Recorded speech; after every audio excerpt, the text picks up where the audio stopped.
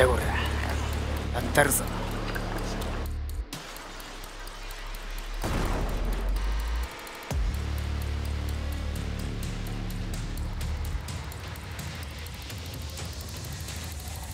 俳優生命の全てをかけ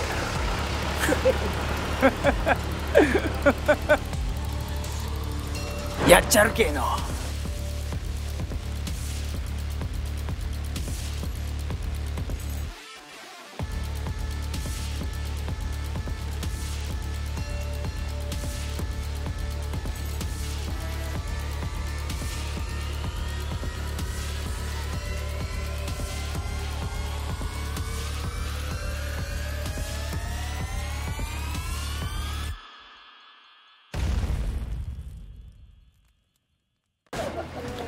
監督が褒めてくれてたらしいからこれ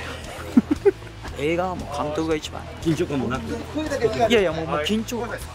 高ぶってます。緊張感緊張感しかなかったです。急に集まった人たちで急に一つの作品をパッと作るこれサッカーよりやっぱ難しいと思うんでそういう経験はねすごい良かったですね。この話いただいた時からもうずっとこうどういう風な感じなんやろうなと思ってたんですけどいややっぱ相当こうやっぱりの緊張感があって俳優の皆さんのあのセリフの感じとか僕たち鳥羽の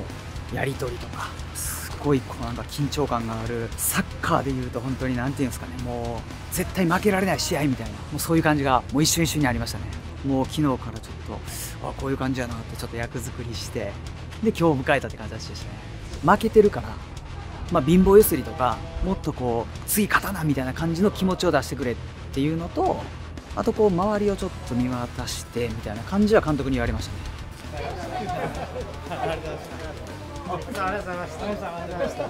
や、良かったです。いけるんじゃないですか。